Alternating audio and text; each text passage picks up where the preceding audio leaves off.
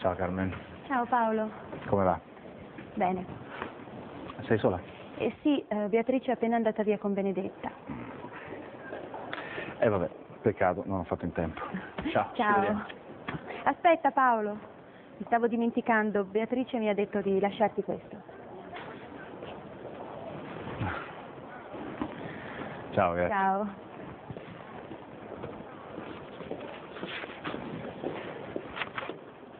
Continuo a chiedermi perché sei così distante. E se leggi questo tema capirai che è una domanda che sta facendo anche Benedetta.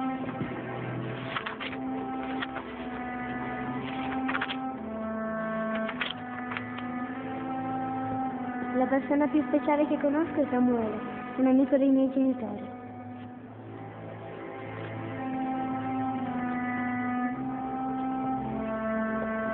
Male che c'è lui, perché in questo periodo nessuno ha molto tempo per me. Lui mi racconta cose buffe e mi fa ridere, e poi è un istruttore in piscina. Mi ha insegnato a nuotare ad orse, a rana, e adesso mi sta insegnando anche a nuotare a farfalla. Samuele mi racconta un sacco di cose interessanti e passa tanto tempo con me. Una volta anche mio papà la faceva, ma adesso dice sempre che ha cose più importanti da fare.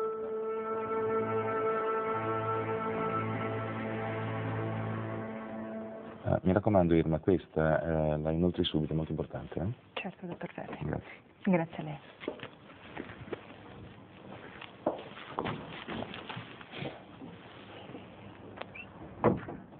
Una volta quando ero nel tuo ufficio chiedevi a dirmi di non essere disturbato per nessuna cosa al mondo.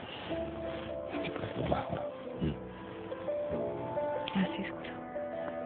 Non so neanche perché te l'ho detto. No, guarda, mi importa. Allora, cos'è che mi volevi dire?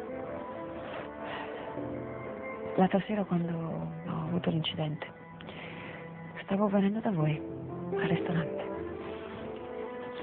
Vorrei sapere come ti è venuta in mente una cosa del genere. Non lo so perché l'ho fatto, l'ho fatto così perché, perché ero, ho reagito d'istinto senza ragionare e quindi è colpa mia se ho fatto l'incidente tutto. Laura, non mi piace vederti così, non mi piace. Ti prego. Senti, cerca di fare qualcosa. Cerca di riprenderti. Perché ti interessa qualcosa di me? Sì, mi interessa molto anche. Il fatto che tra noi due la storia sia finita non vuol dire che io non ti voglia bene. Che io non mi preoccupi per te. Ti devo dire una cosa molto importante.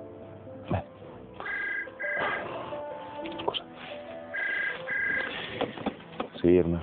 Mi scusi, dottor Ferri, ma ho una telefonata urgente per lei. È il corriere speciale per Amburgo. Ehm, sì, grazie, lo passi. Sì? Mi dica. Oh, bene, era proprio quello che volevo sapere. Sì, certo, vi avviserò in tempo per poter organizzare tutto. Bene, bene, molto bene, molto bene. Grazie.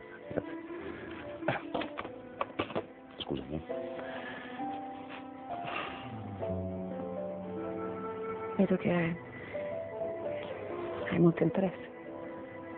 In Amburgo ancora. Cosa che mi dovevi dire? Non penso di volertelo dire. Scusami, ma non, non ti riguarda più molto. Buona giornata.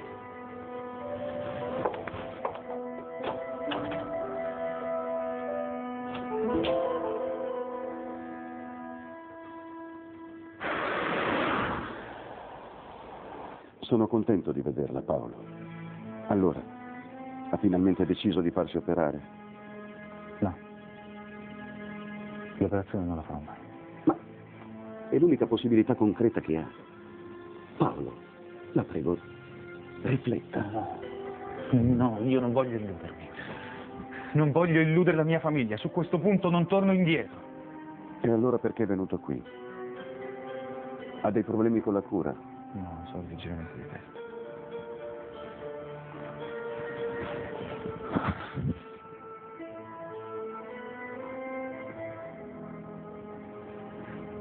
Ho deciso di partire. Di partire? Per dove? E per quanto tempo?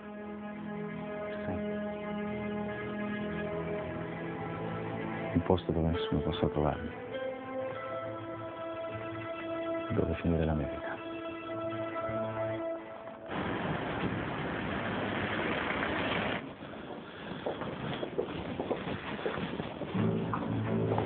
Che cosa diavolo hai intenzione di fare? E tu che cosa vuoi? Non vorrei denunciarmi sul serio. Questa volta non la passerai liscia, ci vuole un po' di giustizia in questa storia. Per favore. Non farlo almeno adesso che stiamo nella nostra madre. Non mettere in mezzo nostra madre, togliti dai piedi. Scusa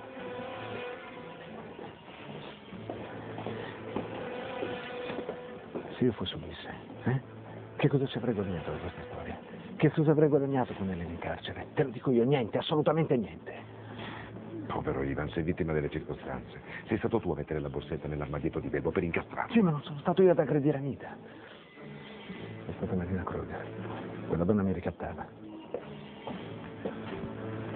Io dovrei credere a questa storia. Ma credimi, per favore, la verità. Lei voleva dire a tutti che io ero stato ad aggredire Anita e Anita non si ricordava niente dell'incidente.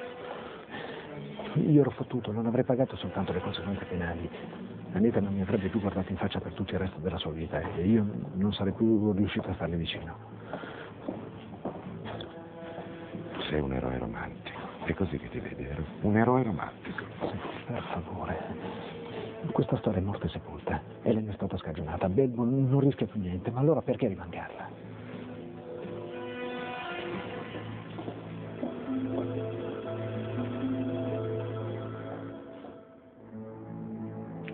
Paolo, ascolti, io capisco quanto sia difficile la situazione che sta attraversando in questo momento. Ma questa me la lasci dire con franchezza. La trovo l'ennesima assurdità. Ah, mi sembra la soluzione migliore. Ci ho pensato molto in questi giorni, anzi, non ho fatto che pensare a questa. So quello che devo fare. E alle persone che le vogliono bene, i suoi cari, ha pensato? Soffriranno, tanto soffriranno comunque. Per loro però la vita andrà avanti. Qualcuno prenderà il mio posto. Ma che diritto ha di scegliere anche per gli altri? Eh? Di togliere alla sua famiglia il desiderio di starle vicino, di aiutarla. Non possono aiutarmi. Loro non possono fare niente.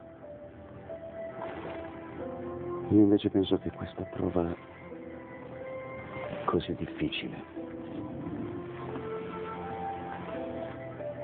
possa insegnare tante cose a tutti.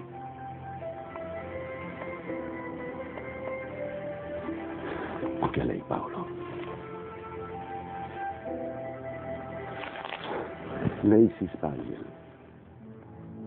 Creda, la sua famiglia ha diritto di sapere la verità, di conoscere, di conoscere quello che sta attraversando lei in questo momento. Mi dispiace. Ho deciso, devo andarmene. Sto facendo soffrire tutti.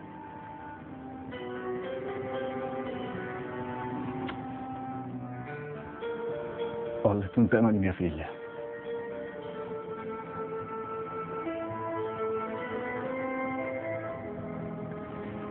Non l'ho mai sentita così distante.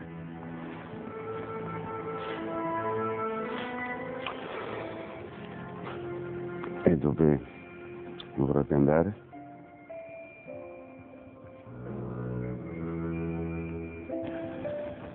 Nord. Svezia, Danimarca. Speravo che lei potesse darmi un aiuto. Consigliarmi un posto dove poter contattare qualcuno per le ultime ore. Immagino che avrò bisogno di assistenza, no? Come faccio ad aiutarla? Un proposito così assurdo.